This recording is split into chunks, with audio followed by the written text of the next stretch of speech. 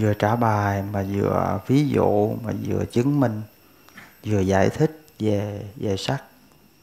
Bảy trí về sắc. Bây giờ chúng ta qua bảy trí về tưởng. Sắc á, là cái hình sắc ở ngoài. Mình có thể là nhìn thấy được. Mình nhìn thấy được. Thân người, cảnh vật, đồ vật, tứ đại bên ngoài. Đó là sắc. Nó gồm có bốn đại chủng và sắc do bốn đại chủng tạo thành. Tức là đất, chỗ nào nó cũng có hết. Nước, chỗ nào cũng có hết. Gió, chỗ nào cũng có hết. Lửa, chỗ nào cũng có hết. Cho nên gọi là tứ đại. Sắc do tứ đại tạo thành là gì? Là thí dụ như cái cây này nè,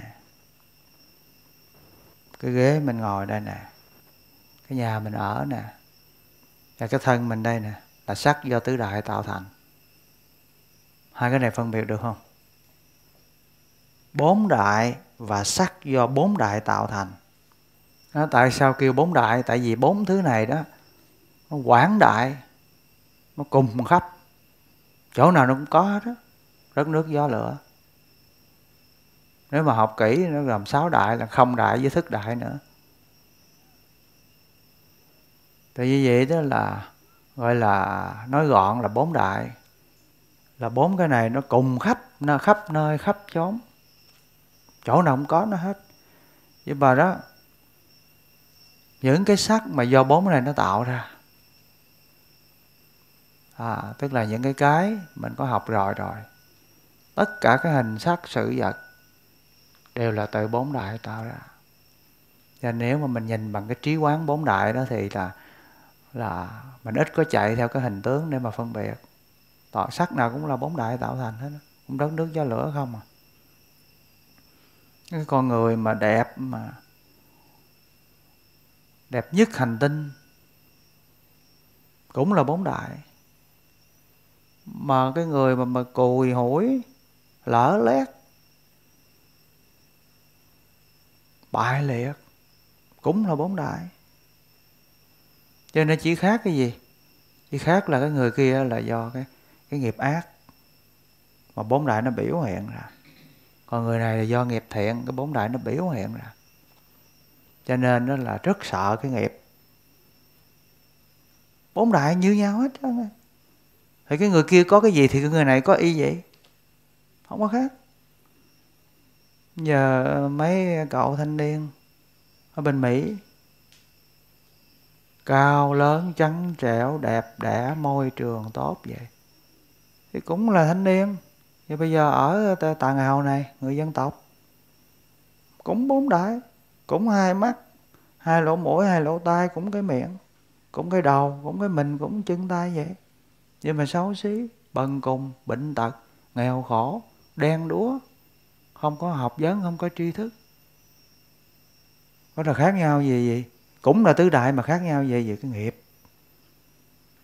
Cho nên cái nghiệp á, ở trong dòng luân hồi sanh tử này là quan trọng cực kỳ lắm. Nghiệp thiện hay ác quan trọng lắm. Trừ khi nào mình chấm dứt sanh tử thì mình không không sợ. Chứ còn còn ở trong sanh tử đó là cái nghiệp nó quyết định. Nghiệp là gì? Là là bào thai. Nghiệp là quyến thuộc nghiệp là chỗ nương tựa. Nghiệp là chủ nhân. Đó, cho nên đó là sẵn nhắc về tứ đại đó, mình phải nhắc về cái nghiệp quan trọng lắm. Cho nên mình nhìn thấy không? Giữa một cái người minh tinh điện ảnh, người mẫu đẹp với một cái người mà lết dưới lết dưới đường này nè cùi nằm hai chục năm. Lỡ lét hết trơn, dai lỡ hết. Đại tiểu tiện một chỗ. Muốn đứng dậy là phải có người dìu lên. Muốn nằm xuống phải có người đỡ. Khổ không?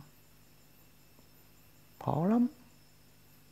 Sự sai biệt của tứ đại là do nghiệp quán chiếu về cái nghiệp hay lắm quán chiếu về nghiệp quả hay lắm. Cho nên đó, mình quán chiếu nghiệp quả thường đó mình không có nghĩ xấu với ác về ai hết trơn. Dầu người đó đối xử xấu với mình mình cũng dùng cái thiện tâm dùng cái từ tâm dùng cái bi tâm dùng cái hỷ tâm hỷ xả cho họ. Tại vì vậy cái phước đức của mình lớn lắm có thể là đời sau mình sanh ra đó thôi đầy đủ hết tất cả. Dung sắc lực. Dạ. Vừa sắc đẹp, vừa sức khỏe.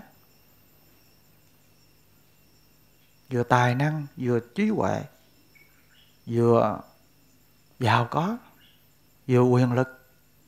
Đó là do cái phước phước của thiện nghiệp. Cho nên á, nhiều khi là bên thành nhắc nhở từ xuất gia cho tới cư sĩ, từ mới vô chùa cho tới ở lâu đó mình đừng có đừng có đối xử ờ, không có tốt đối với những người khác. Giàu cho người khách hay là cái người mới lại tập tu còn những cái bậc tôn trưởng rồi càng đáng cung kính nữa. Tại vì những cái ý niệm bất thiện của mình đó, những cái lời nói bất thiện của mình đó, những hành vi bất thiện của mình nó chiêu cảm một cái quả báo. Mình không thể nào tưởng tượng nổi hết. Không thể nào tưởng tượng nổi hết cho nên thiện nghiệp hay lắm. Tốt lắm đức phật ở trong kinh pháp cú đó. khen ngợi thiện nghiệp vô cùng luôn. Nay vui đời sau vui làm phước hai đời vui. Người ấy vui ăn vui thấy nghiệp nghiệp thiện của mình làm. Này sướng đời sau sướng làm phước hai đời sướng. Người ấy sướng vui sướng. À, khi thấy được cái quả thiện của mình nó chính rộ ra nó biểu hiện ra lúc người ta đi chỗ nào cũng sướng gặp toàn là người đẹp, ở toàn là cái chỗ tốt, ăn toàn là món ngon. Tất cả những cái sắc thanh hương vị xuất pháp của người đó là thù thắng, là tối thượng. Là cái người có phước đức ở trong cái thiện nghiệp đó, họ thấy cái gì đều là thấy cái đẹp hết, nghe cái gì đều là nghe cái lời hay hết. Ngửi, nếm, xúc chạm, tất cả những cái của họ đó toàn là cái thiện nghiệp thù thắng không?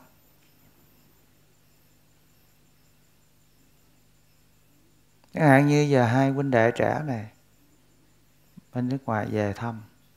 Mới ngày hôm qua nghe thầy nói cái chuyện mà phòng cháy chữa cháy chuẩn bị mua đồ để mà phòng cháy mấy cái bình xịt. Mới nghe nói tôi là tự động rủ mẹ, cha giờ để lo, cúng dường cái bình xịt đó cho chùa. Nếu thanh thiếu niên ngoài bình thường thì đâu có suy nghĩ tới mấy chuyện này. Đó, những cái đó là gì? Những cái đó là cái thiện tâm mình cái thiện thiện ngữ của mình, cái thiện hạnh của mình. Thì những cái gì, những cái đó là gì? Nó sẽ giúp cho mình vui trong hiện tại và trong tương lai. Cho nên cái thiện này hay lắm. Nuôi dưỡng cái thiện, phát huy cái thiện. Nghĩ thật nhiều về những cái tốt về người khác. Nói thật nhiều cái lời tốt về những người khác. Làm thật nhiều cái việc tốt cho mọi người khác thì đó là mình ở chỗ nào mình sanh ra ở đâu mình cũng được tốt hết. Thù thắng hết. Nó nhiều khi bản thân minh thành á từ nhỏ tới lớn không biết ấy, mình không biết nhiều đời nhiều kiếp mình quân tu sao đó mình không biết. Minh thành mà đi mà nhìn thấy một cụ già mà bạn bảy chục tuổi mà bán vé số hay là đi lụm da dai đó mình giống như có ai bóp cái tim mình đó. Nó nhói lên nó nhói nó xót xa lên có khi nước mắt nó muốn chảy ra. Mới nhìn thấy thôi. Rồi như mấy bữa đi dạy học ở trường thì tới cái chỗ đèn xanh đèn đỏ một cái cua chuẩn bị quẹo qua đường cao tốc. Qua trường bên quận 9 đó, mà thấy có mấy người đó. Họ họ bán bán nước. Bán nước mà họ bán kiểu ngộ lắm. Họ không có bán quán không có cái quán đàng hoàng không có chỗ gì. Họ xách từng cái ly vậy nè họ chạy ra ngay chỗ này, xanh đường đỏ nó chạy ra đưa cho mấy ông tài xế xe tải. Mà cái đó đó là mấy ông chạy nhanh cái cán cái chết liền. Bằng ly nước và đá đó bao nhiêu? Có năm ngàn. Ba ngàn, năm ngàn. Mà cái sinh mạng là cái cỡ nào? Mà tại sao ta phải làm vậy? Không có phước. Không có thiện nghiệp. Cho nên tại sao là mình thành nhát nhất là mấy cô trong gia đình kêu làm phước? Đừng có đừng có đừng có bỏng sản đừng có keo kiệt, đừng có gom gom gom hoài vô. Tại vì đức phật có dạy đó mới mốt là lửa nó cháy lên á. Cái nhà mình nó lửa nó cháy lên á. Mà mình không biết lấy đồ ra trước đó. Mình lấy đồ đồ quý mình lấy ra. Thì mà không nó cháy vô đó rồi nó cháy hết. Nó cháy hết. Cho nên mình lấy đồ ra đó là mình nên đi bố thí cúng dường để giúp người nghèo khổ đó. Đó là mình lấy đồ ra trước rồi máu nó cháy hết rồi sao? Cháy là, là lúc chết á. Nó cháy hết. Nên làm phước hay lắm. Thà là mất đồ mà đừng để cho mất cái thiện tâm của mình.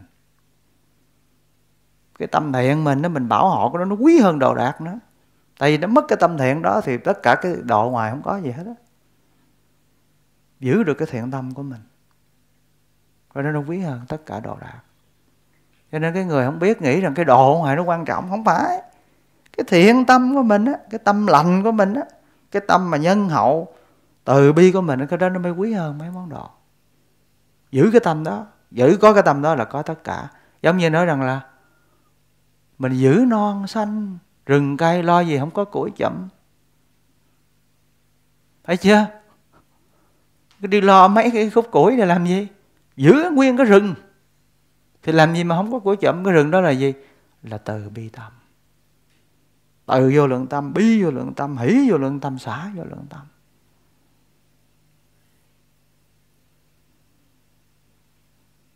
Mình giữ núi xanh. Mình giữ rừng rậm. Mà tại sao không có cổ chậm? Cho nên á, phải rất sợ đối với cái nghiệp quả và cái suy nghĩ lời nói hành động xấu về người khác. Chưa biết chắc không được nói. Mà rủ có biết rồi cũng hạn chế nói. Trừ khi có cái việc gì cần thiết trách nhiệm.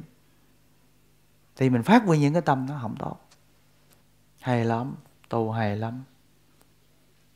Từ riết rồi đó từ cái đỉnh đầu cho tới gót chân mình toàn là thiện pháp không? Mình nhìn ở đâu mình cũng thấy là, là một trời trong sáng nơi nơi liễu thấm hoa hồng. Muôn dặm phong quang trốn trốn quanh kêu bướm lượn. Thì tự cái tâm thiện của mình nhìn ra, mắt mình thiện, tai mũi lưỡi thân ý mình đều thiện hết. Thiện pháp, tích tụ, một đống thiện pháp.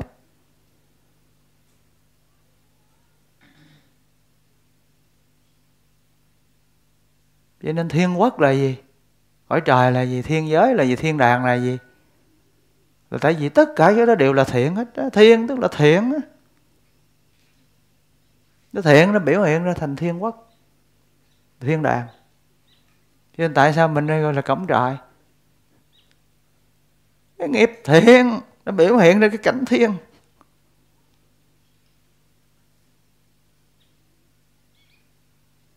Từ cái gốc thiện của mình á.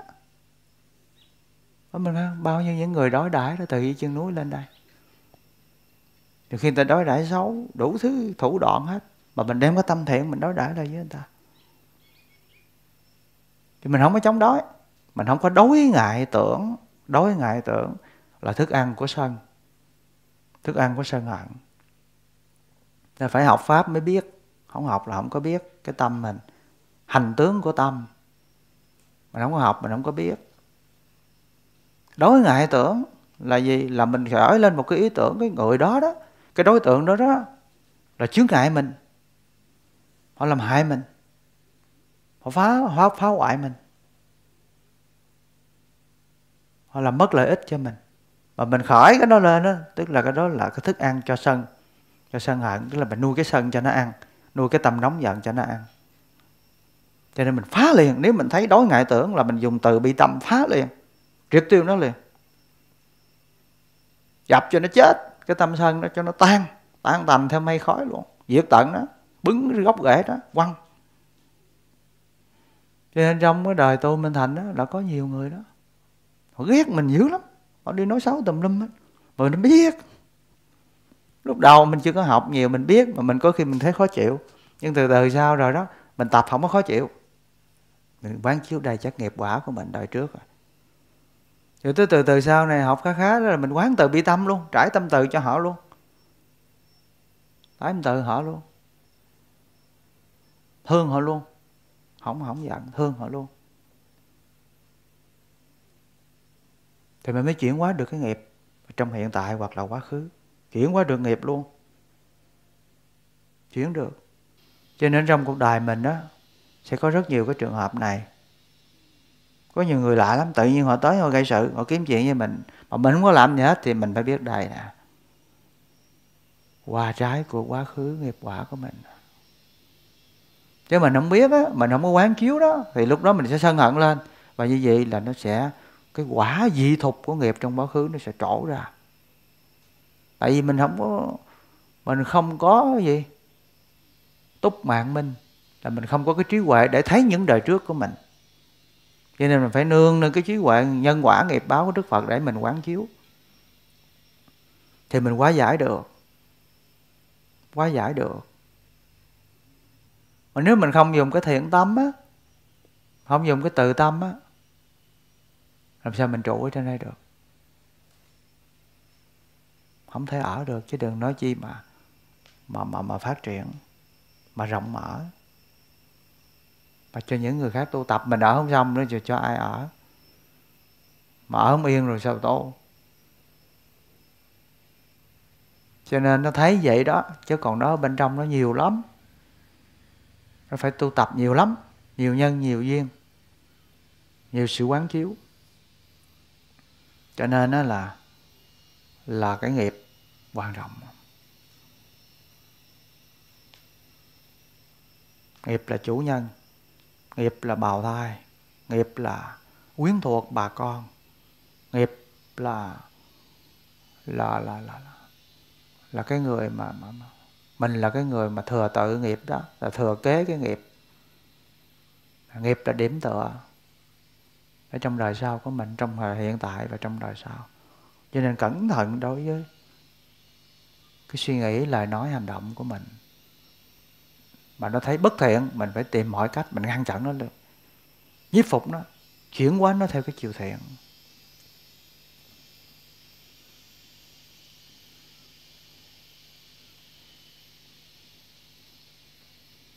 Lúc đó đó, khoảng chừng bốn năm năm trước á, có khi buổi sáng hoặc là buổi chiều một mình Minh Thành nó chống gậy đi lên quán chứa đường đứng một mình á.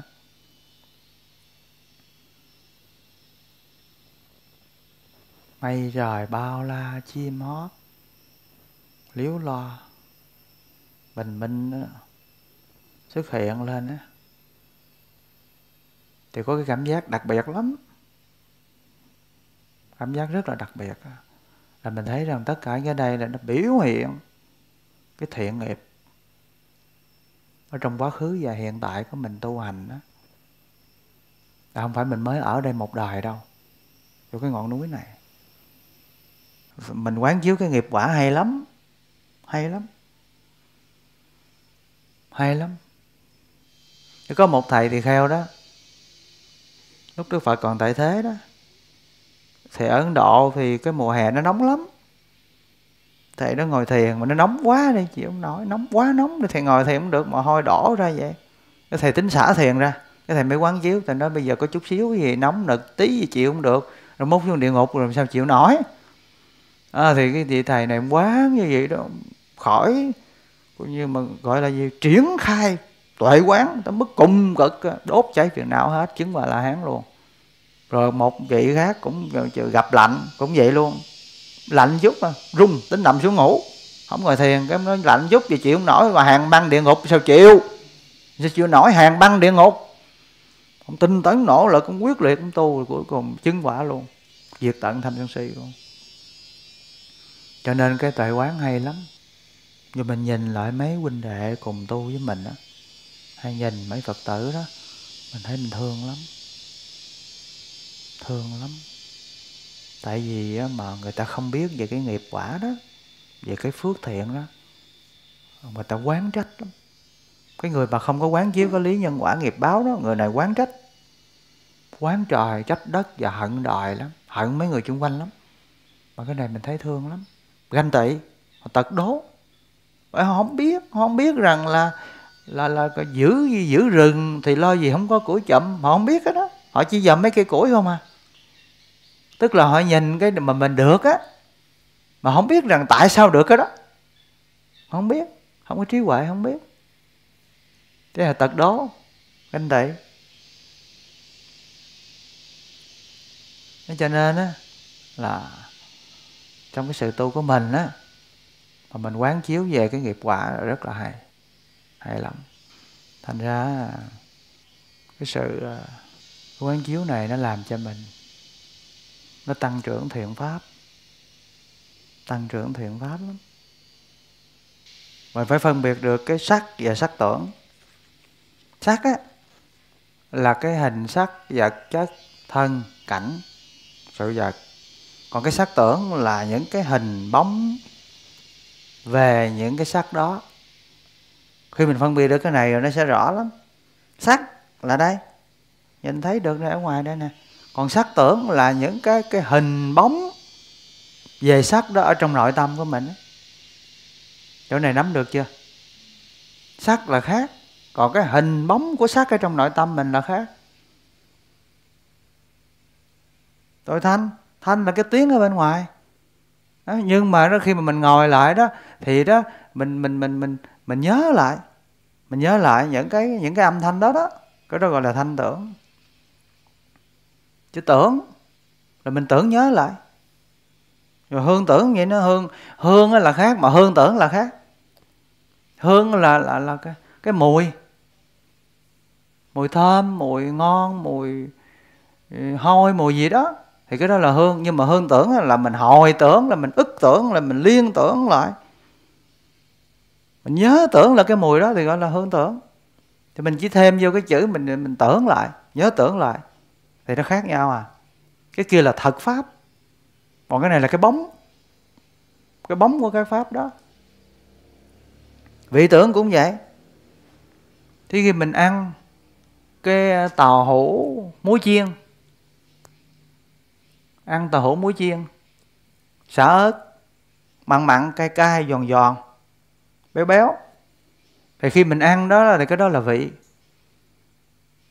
Nhưng mà khi mà mình ngồi một mình mà mình nhớ lại cái vị đó, mình tưởng nhớ lại cái vị đó, cái đó gọi là vị tưởng nó khác nhau không? Khác nhau rõ không? Thấy thấy rõ chỗ này khác nhau không? Giờ xúc tưởng là sao?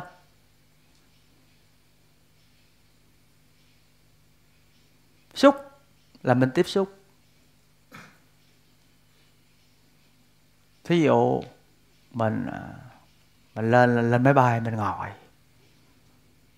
À, lên máy bay ngồi. Nào giờ chưa đi máy bay mới đi máy bay lần đầu leo lên lắc qua lắc lại thấy không? Nhúng nhúng nhúng nhúng phải không? Rồi lấy dây thắt đồ vô ngồi rồi ta bưng cái mâm rồi lại là nhìn thấy hạnh phúc lắm. Sung sướng nó bắt đầu mới thấy cái mùi bốc lên là chảy nước miếng rồi cái mùi mới nấu trong phòng thôi nó bốc lên là đây chảy nước miếng trước rồi. Đó rồi giờ xé ra ăn.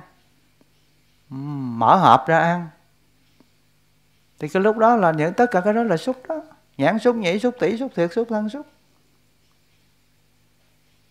Đó là xúc. Xúc mà cái gì toàn là là, là, là lạc thọ không à. Nhưng mà có khi khổ thọ trong đó nữa. Mà mình không thấy. Chẳng hạn như chờ lâu quá chờ lâu quá mà sao nó nó nó, nó không chịu bay? Ờ, hoặc là bị delay. Nó nói 6 giờ bay mà giờ 7 giờ 7 rưỡi rồi chưa thấy bay. Nhưng mà khổ thọ nhưng mà vẫn lạc thọ à tại vì lần đầu tiên được bay. Nó ở trong đó nó lẫn lộn trong đó nhiều lắm rồi có cái không khổ không lạc nữa ở trong đó. Nhưng mà cái khi mà mình xúc như vậy đó thì cái đó là là, là, là xúc xúc trần. Nhưng mà bây giờ đó là xúc tưởng là gì? Là mình đi xong rồi mình trở về chùa rồi. Rồi mình ngồi là mình nằm đó mình ngồi đó mình nhớ lại, nhớ lại những cái mình tiếp xúc ở lúc đó đó. Nó bay lên cái cảm giác nó làm sao? Nó sướng làm sao? Đáp xuống cái cảm giác nó sướng làm sao? Ngồi ăn tiếp viên phục vụ cảm sướng nó, nó, nó sướng làm sao? Đó. Rồi đi vô toilet rồi là ngoan ngoãn không biết đường mà mà mà mà, mà mở cửa nữa nó khổ làm sao? Chẳng hạn lần đầu tiên lên như đi vô không biết. Thì tất cả những cái mà mình đó là mình tưởng nhớ lại cái sự tiếp xúc của mắt của tai của mũi của lưỡi của thần cái đó gọi là xúc tưởng. Còn cái trực tiếp và tiếp trực tiếp á, để mình xúc á thì cái đó là xúc trần còn cái mình tưởng lại những cái mình đã từng tiếp xúc đó là xúc tưởng. Bây giờ mình với người bạn mà lúc mà chưa đi tu bây giờ mình không có nhìn mặt nữa không có gặp nữa. Đi tu 5 năm rồi không có gặp. Nhưng bây giờ mình ngồi thiền lại cái tự nhiên cái hình bóng người đó nó hiện ra. Rồi mình thấy người đó cười với mình. Rồi, rồi, rồi nói chuyện những cái hồi xưa mình đã nói đó. Lúc mình gặp ở cái chỗ nào đó ở trên cầu. Cầu. 7 giờ đêm. Nói những cái lời gì đó. Thấy không? Hay là đi ăn gì đó, vừa ăn vừa cười vừa nói, cái nó nhớ lại mấy cái đó. Xúc tưởng. Xúc nó tới mà mấy xúc. Đó, xúc tưởng là vậy đó. Những cái hình bóng đó nó hiện lại. Rồi mà cái tưởng này nó ghê lắm. Tưởng này ghê lắm. Tưởng này chết với cái tưởng này dữ lắm. Chết với cái tưởng này lắm. Cái sắc ở ngoài cho nó ít chết hơn là cái tưởng, cái sắc tưởng. Bây giờ, đi qua nhìn nói chuyện mấy câu hai, ba phút rồi thôi, người ta đi rồi. Nhưng mà mình về rồi rồi cái sắc tưởng đó nó còn. Nó còn. Có khi mấy ngày nó cũng chưa hết. Lâu lâu rồi nó nhớ là nó hiện cái bóng đó lên. Nó hiện lên. Đó, cho nên là cái này ghê gớm lắm. Mới ngày hôm qua nghe ở trong tăng chi bộ. Đức thế tôn nói chưa có thấy một cái sắc nào. Mà nó nó làm cho say mê điên đảo. Nó ràng buộc.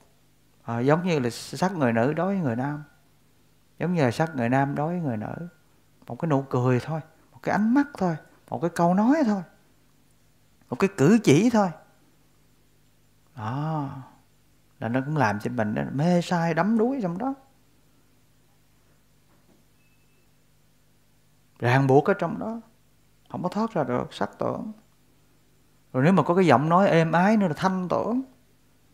Rồi nếu mà lúc đó trước cái mùi dầu thơm gì mà độc địa nữa thì là hướng tưởng. Hướng tưởng. Mà nếu lúc mời cho ăn cái gì nữa đó là vị tưởng.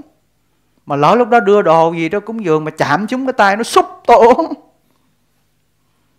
Rồi xong trở về mà thọ tưởng hành thức thì giận hành lại là pháp tưởng. Như vậy sáu tưởng luôn. Đồng thời tấn công cùng một lúc chịu trận cho nên trong bài kinh bảy mồi đó Đức Phật có cái ví dụ đó. Cái con cái con người ta làm cái bẫy á người ta bắt con khỉ. Cái bẫy nó để với keo cái đưa cái, tay tay phải đưa vào cái dính tay phải cái lấy tay trái nó gỡ cái dính tay trái cái lấy cái chân phải nó để vô nó gỡ dính chân phải cái lấy chân trái để vô dính chân trái. Xong lấy cái mỏ vô gỡ chín cái mỏ luôn. Bảy mồi đó là bẫy của ác ma. Sắc. Dính như đó rồi không cục cựa gì. Hãy càng gỡ rồi nó càng dính nè. Đó. Nó xúc không ra, nó gỡ không ra, nó dính vô. Keo nó dính.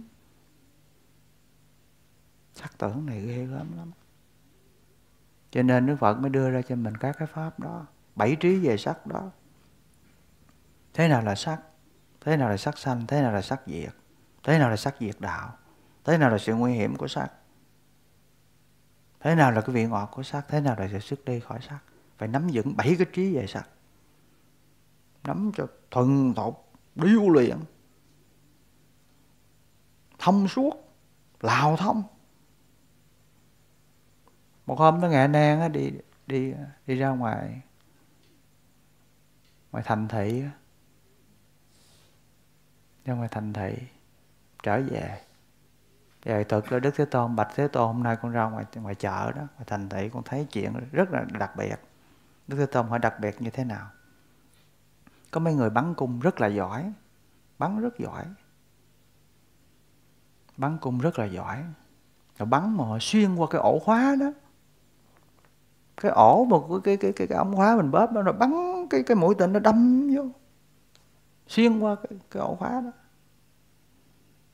Thì Thế Tôn nói đó, nè anh An, cái đó chưa giỏi. Dầu cho có cái người đó mà bắn, mà chẻ là cái sợi tóc ra. Chẻ cái sợi tóc ra, là một trăm phần. Một trăm phần, mà bắn cái mũi tên á, mà nó trúng một cái phần nhỏ, một phần trăm cái sợi tóc đó đó. Thì ông nghĩ người đó có giỏi không? mày em nó chả nếu mà có đó thì quá tuyệt rồi, quá siêu rồi. cái phần nói cái người đó nó chưa có bằng cái người đó mà thấy được cái, cái trí về khổ về nguyên nhân của khổ thì chấm dứt khổ và cái con đường đưa đến diệt khổ đó. Cái người mà thấu được cái trí tư đế này đó là cái giỏi trăm ngàn lần cái người mà bắn một phần trăm của một sợi tóc trẻ ra. Đó là Đức Thế Tôn gọi là gì? Gọi là bắn nhanh. Gọi là gì? Là xạ thủ. Gọi là bắn nhanh bắn mạnh bắn trúng hồng tâm gọi là tốc độ Phật dùng mấy cái từ hay lắm. Phật đấy gọi là xạ thủ. Đó gọi là người bắn nhanh, bắn trúng. Đó là gọi là tốc độ này anh em, là phải phải nói người bắn nhanh như thế đó mới đúng ở trong pháp và luật của Như Lai. Bắn một cái mà thấy được, thành tựu được cái trí, khổ trí. Thấy được cái thân ngũ quẩn nên là khổ thấy tham sân si là nguyên nhân của họ. Và biết thực tập bát chánh đạo để chấm dứt cái khổ thì người đó là xạ thủ. Là bắn, coi như là tan tành cái gì? Cái gì? Cái khổ quẩn, vô minh quẩn to lớn. Đức cái tôn dùng cái từ đó. Vô minh quẩn to lớn là cái đóng vô minh rất là lớn. Bắn được. Cho nên cái chỗ mà sáo tưởng này ghê lắm. Học thuộc kỹ cái sáo tưởng này sáu tưởng này mình ngồi thiền đó là mình đối diện với nó dữ lắm. Lúc mình ngồi thiền đâu có đâu có cái gì đâu. Ở trước mắt mình đâu có cái gì. Đâu có cảnh, đâu có người, đâu có vật, đâu có gì đâu. Nhưng mà mình ngồi trong đó nó quậy mình không? Bao nhiêu cảnh ở trong đó nó hiện ra? Toàn là sáu tưởng này nè. Thành ra cái cái ngồi thiền đó là cái phải phải nhận diện cho được sáu tưởng này khi mình ngồi chứ không ta mình không biết mình nói cái này là tâm mình nó chết đó chứ. Mình không biết được sáu tưởng này thì khi nó xuất hiện mình nói đó là tâm mình tôi đang nghĩ. Thí dụ vậy đang ngồi thiền vậy đang ngồi ngồi mình trong thất vậy. Tự nhiên cảm thấy sao trời tực nhớ vậy, dễ ý lại cái bụng sao thấy vợ đói bụng. Mở nghe mùi sầu riêng bóc mới hôm qua ai cho chứ sầu riêng nó tự nhiên đang ngồi thiền cái bung chân ra phui sầu riêng ăn chứ. Không có. Ở mình nó dễ buông lung móng vật lắm. Cho nên lúc đó mình phải biết cái đó là gì? Hương tưởng sắc tưởng phải thấy được. Bây giờ ngồi thiền cái tự nhiên chợt nhớ lại, quên cái vụ gì đó, bây giờ phải điện thoại mới được. Bây giờ bước bước bước xuống xuống thiền đường, đi xuống phòng, lấy điện thoại, điện. Phải thấy được hết tất cả cái đó. Giờ ngồi thiền cắt hết làm chủ thân tâm của mình. Không có để cho các cái các thứ này nó nó hoạt động, nó chi phối, nó vận hành. Thấy rõ được cái sáu tưởng này đó, là mình tu hành nó lợi ích lắm. Giờ giải thích cái tưởng sanh, tưởng diệt tưởng diệt đạo, vị ngọt, sự nguy hại, sự xuất đi của tưởng này. Ai giải thích được? Tại sao do xúc tập khởi mà tưởng tập khởi ai giải thích cái này pháp nhân giải thích đây. Nam mô bổn sư thích ca mâu ni phật. Con kính bạch trên thầy quý thầy ni sư và toàn thể đại chúng. Thì dạ um, tại sao mà do xúc tập khởi thì uh, tưởng tập thờ khởi thì um, như chúng ta đã thấy là trong cái à, trong cái tiến trình mà ngũ quẩn á, thì chúng ta là có sắc có thọ rồi mới tới có tưởng. Thì mà trước khi mà để mà phát sanh á, là cái tưởng thì phải có cái cảm thọ. Mà để có cái cảm thọ thì là nó phải có cái duyên của xúc. Mà cái duyên của xúc nó sanh khởi khi nào? Khi mà sáu căn tiếp xúc với sáu trần và cùng với là uh, sáu thức thì nó mới sinh ra là xúc. Và từ có xúc đó nó mới sinh ra thọ. Và từ thọ đó thì nó mới phát sinh ra tưởng. Và cho nên đó là theo con hiểu là đó là lý do tại sao mà khi mà ờ, uh, xúc tập khởi thì là tưởng tập khởi. Chẳng hạn như là um, khi mà um, uh, trước đây khi mà con đi qua bên Nhật chẳng hạn như vậy thì uh, khi mà tiếp xúc những cái món ăn bên Nhật như vậy đó thì là do là mình không có quen với cái cách mà nấu nướng và cái cái cái hương vị mà họ chế biến thì khi mà mình tiếp xúc và ở đây là về cái ờ, cái cái sự tiếp xúc là về cái cái cái lưỡi của mình. Tiếp xúc với cái ờ, với cái mùi vị ở đó thì cộng thêm nữa là cái ờ, cái cái cái thiệt thức thì nó sẽ sinh ra là cái sự xúc rõ biết những cái mùi vị mà về cái thức ăn nó rất là ngọt và nó rất là lạc.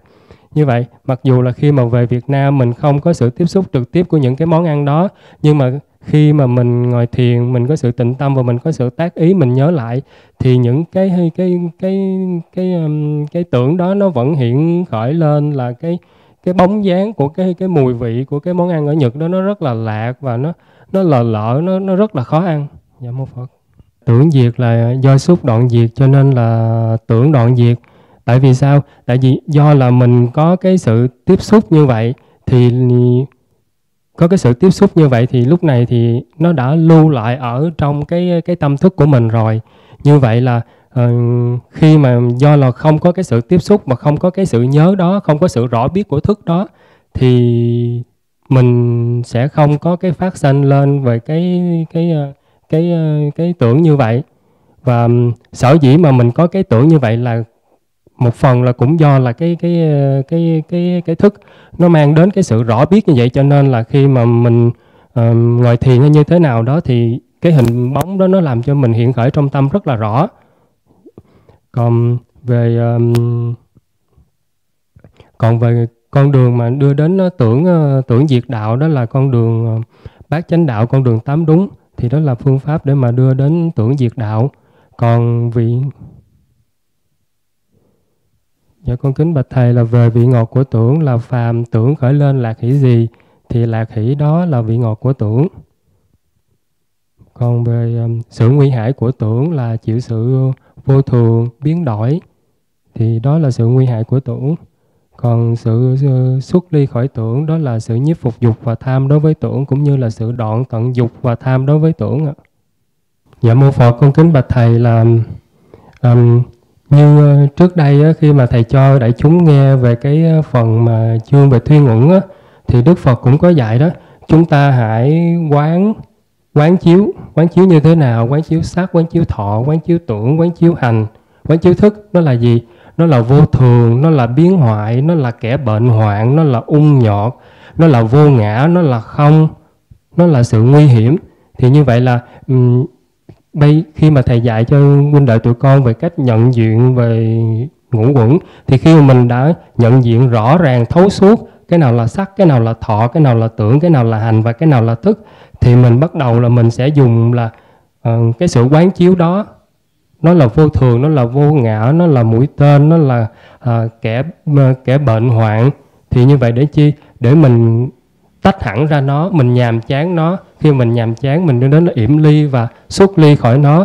Thì như vậy thì lúc này thì là trí về ngũ quẩn của mình thì nó sẽ phát khởi. Dạ con hiểu như vậy ạ. Dạ mô phật. Giờ ví dụ cái tợ vị ngọt, sự nguy hại và sự xuất ly của tưởng. Vị ngọt của tưởng là gì? Dạ thưa thầy là như là ở trong kinh định nghĩa đó vị ngọt của tưởng là phàm tưởng khởi lên lạc hỷ gì thì lạc hỷ đó là vị ngọt của tưởng. Chẳng hạn như là bản thân của con đó thì uh, uh, rất là thích ăn cái món ờ, cà ri mà huynh minh tâm nấu. Như vậy là uh, chỉ cần mà ví dụ như là khi mà mình thèm lên thì do trước đây mình đã ăn cái món cà ri của minh tâm rồi thì do là có cái do cái cái sự xúc cái chữ thọ và nó dẫn đến là cái cái cái cái tưởng của mình về món ăn đó. Thì như vậy là uh, do là cái tâm của mình nó có cái sự yêu thích trong đó thì cho nên là khi mà tưởng và nói về cái món ăn cà ri đó thì mình cảm thấy uh, rất là rất là thích thú rất là thỏa mãn. Đó đó là cái vị ngọt của tưởng của mình. Mặc dù mình không có tiếp xúc với cái món ăn đó nhưng mà các cái pháp nó hiện khởi trong tâm đó nó vẫn làm cho mình nếu như mà mình không có cái trí tuệ mình quán chiếu đó thì nó có dẫn cho mình cái sự mà khổ đau dạ mô phật. Dạ con kính bạch thầy là cái ờ, sự nguy hại. Tại vì sao? Tại vì do là ừ, mình thấy là trước đây là có vị ngọt của tưởng mình mới cảm thấy là mình yêu thích và đam mê nó. Như vậy phàm cái gì mà mình có cái sự yêu thích và đam mê nhưng mà khi một khi mà mình đã mất đi nó không còn cảm giác đó thì chắc chắn mình sẽ chịu sự đau khổ. Cũng giống như là trước đây thầy có dạy các huynh đệ tụi con đó mình hãy quán chiếu um, cái um, cái lạc là khổ khổ là mũi tên và không lạc không khổ. Um, là vô thường. Dạ mô phật. Còn về sự xuất ly khỏi tưởng thì mình nhiếp phục dục và tham đối với tưởng. Thì như hồi nãy con đã có trình bày thì rõ ràng cái cái tưởng của mình khởi lên và mình cảm thấy có, có cái sự yêu thích khoan khoái trong đó nhưng mà chính cái sự yêu thích khoan khoái này là gì? Nó cũng là cái sự tham ái trong đó, cái sự tham trong đó. Và cái sự tham ái, cái tham này là gì? Là cái nguyên nhân mà dẫn đến cho mình là sanh sanh tử tử luân hồi. Và nó là cái mầm móng cho cái ngũ quẩn nó phát khởi. Không những ở ở cái thân này mà còn thân sau nữa. Nếu như mình không có trí tuệ mà mình thấy rõ nó thì nó vẫn là thân sau của mình cũng là ngũ quẩn mà thôi. Cứ sanh sanh, tử tử tử tử, sanh sanh. Không biết khi nào mà dứt được thì chính vì vậy khi mà mình thấy được như vậy thì mình sẽ nhiếp phục dục và tham đối với nhau nó.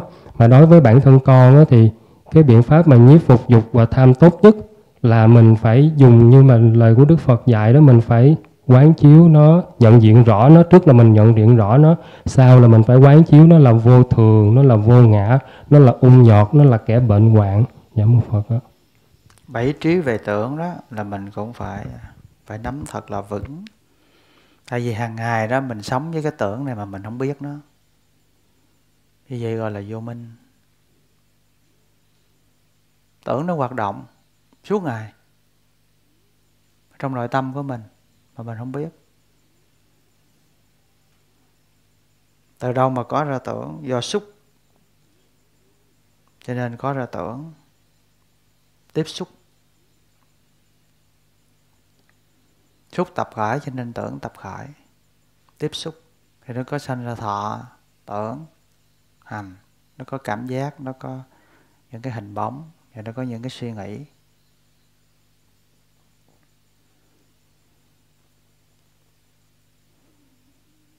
Sao để mà tưởng diệt do xúc đoạn diệt cho nên cái tưởng nó đoạn diệt không có xúc nữa, thì nó không có tưởng.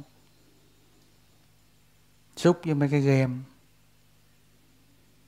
cho nên nó có cái tưởng có thọ, nó có hành. Không xúc nữa thì tưởng nó diệt. Cái xúc đó thì nó sẽ tưởng, nó tưởng hơn, tưởng thua, tưởng thắng, tưởng bại. Tưởng sao sao sao, nó tưởng tiếp tục hoài.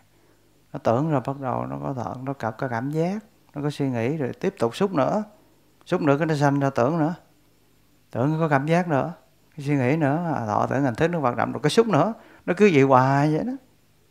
Nó không dừng lại mà cắt đứt xúc thì hết tưởng. Hút thuốc cũng vậy. Hút thuốc là xúc. Cắt đứt xúc thì nó hết tưởng. Hết tưởng về cái đó đó. Về cái điếu thuốc đó. Hết tưởng về cái game đó. Thí dụ như ăn uống ngủ cái chuyện đó là bình thường. Nhưng mà mình không có trí huệ. Cho nên mình bị dính mắt bây giờ mình có trí huệ thì mình biết vị ngọt của nó. Mình biết được cái sự nguy hại của nó và biết được sự xuất ly của nó. Vị ngọt của nó thì đương nhiên mình ăn cái món ờ, cà ri thì cái nó có, nó thích thú, nó ngon ở trong đó. Nhưng mình biết nguy hại của nó là cái món này. Nếu mình ăn nhiều, ăn hoài thì sao? Nó có thể dẫn đến bệnh. Béo bổ, chất bổ, chất béo nhiều quá nó đưa đến bệnh gan. Hay là khó tiêu. Với sự nguy hại của nó. Và biết rằng mình đó, muốn cái món này hoài là mình sẽ khổ. Tại vì cái món này đâu phải ngày nào cũng nấu. Mà nếu ngày nào cũng nấu thì lúc đó mình cũng hết thích rồi. Lâu lâu nó ăn lần nó mới thích. Anh quán chiếu cái sự mà nguy hại của nó là nó vô thường. Cái vị này nó vô thường cái hương này nó vô thường. Đó là nói mấy cái dễ dễ đó. Nhiếp phục được cái dục tham ở trong cái món đó. Có là ăn không có là thôi. Thí dụ như tới lúc đó, cái bữa đó nấu ngay cái món mình thích đi. Mà mình đi công tác ở đâu mà, dưới núi hay trên đồi vậy đó, mình về trễ. Thì tới chừng vô là cái nồi nó hết trơn mà ngay cái món mình thích nhất. Thì nếu lúc đó mà mình không có quán chiếu đó thì lúc đó là sao? Mình phiền não à. Phải không? Mình phiền não liền nhưng mà lúc đó mình có quán chiếu thì sao? Thì mình nhiếp phục được phiền não. Như đây là nói cái nhỏ, nhưng mà nói cái lớn thì sao? Con người thì sao? Nó không có dừng lại ở cái món cà ri. Mà nó tiến lên cái chiếc xe. Nó tiến lên cái đối tượng tham ái. Chứ cái món đó thì nó cũng dễ nhưng mà nó không có dừng lại ở đó. Nó bị hệ lụy nó ràng buộc cho một con người.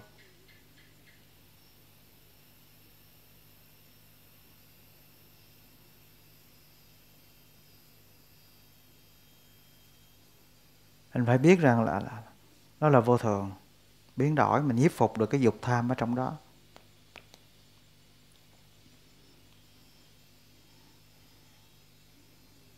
Cho nên á khi mà những cái tưởng đó đó mà nó có khởi lên cái lạc cái hỷ gì á trong cái tưởng đó mình phải biết cái đó là vị ngọt.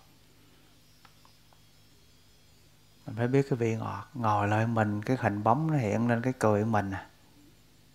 Mình phải biết cái đó là cái vị ngọt của tưởng à, sự nguy hiểm của tưởng thì nhiếp phục cái dục tham để mình thoát ra khỏi cái cái tưởng đó.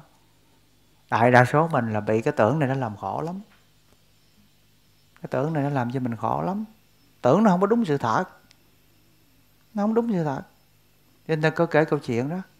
Cái ông đó ông ông ông ông, ông bữa củi ông bữa bữa cái văng cái cái lưỡi búa đó. Lưỡi búa rất tốt mới rất đẹp. Văng. Văng tìm hoài không được tìm từ sáng tới trưa tới xế chiều tìm được mà ông thấy thằng nhỏ nó đi ngang nhỏ hàng xóm kế bên nó đi ngang thì cái dòm cái tướng đó là cái tướng này tướng trộm nè cái tướng này là cái tướng này là ăn cắp là lụm cái, cái, cái lưỡi búa của mình chứ không đứa nào hết đó thằng này chứ không thằng nào khác đó. ông dòm rõ ràng cái tướng nó cái cử chỉ hành động nó đi giống mịch rồi đó nó lụm cái lưỡi búa của mình chứ không ai hết à, tới chừng chiều chiều sao ông đi lột lột và cuối cùng nó mắc ở trong cái cạc đó đi ăn vô múc ở trong cái cạc đó lúc đó thì em dòm lại ông ủa, giờ nhìn thấy nó đâu có giống con trộm đâu. Thấy nó bình thường, nó vô tư, nó đâu có con trộm gì đâu, này nhỏ, này dễ thương chứ. Để cái tưởng nó làm cho mình không không thấy được sự thật. Mà mình bị cái tưởng đó nó gạt. Mình bị cái tưởng đó nó gạt. Đó, mà cái tưởng này nó làm ra ghê gớm lắm, làm nhiều cái vấn đề khác nữa. Và cho nên đó là mình phát huy cái trí huệ để mà mình nhìn thấu được cái tưởng này hay lắm do tại sao mà thầy hay nhắc á, ví dụ kêu làm gì, cái nó thầy cái này chắc khó lắm, làm được đâu. Cái đó là gì?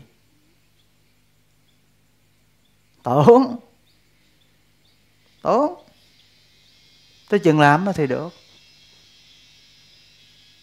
Thành ra mình bị cái tưởng đó. Cứ việc đi vào cái thực pháp. Ví dụ mình nói hỏi giờ tu mà tu 7 ngày, tu tu sao nổi? 7 ngày. Hay tu bây giờ tu luôn một tháng rồi cái khóa tu bây giờ không mở ba ngày nữa. Mở một tháng, mới ngày nói một tháng trời chết rồi, bệnh à. Sao chịu nói nó tưởng nhưng mà thật sự mình vô tu nó không có bệnh, nó khỏe. Mình phải đối diện với thực pháp á. Chứ còn mình dễ bị lắm. Ta tưởng là thọ là tưởng là hành nè. Cứ vào thực pháp. Mà tới lúc đó là tính. Mình mới chinh phục được cái tưởng. Xuất ly khỏi cái tưởng. Nhiếp phục được chứ còn là là là cái ghê gớm lắm, cái tưởng này nó làm cho mình khổ sở lắm à. Không phải dễ đâu. Đó. mới đi ngang hỏi thăm cái không thèm quay lại không nói gì cho chặt chết rồi biết vụ gì đây ha giận em suy nghĩ đủ thứ chuyện hết trơn lôi ra đủ thứ hết. Đó, mình rơi vô cái bẫy đó cái bẫy đó. Bẫy đó là dính nguyện à, đem à, công đức à, này hướng về khắp tất cả đệ tử và chúng sanh đều trọn thành Phật đạo. Thank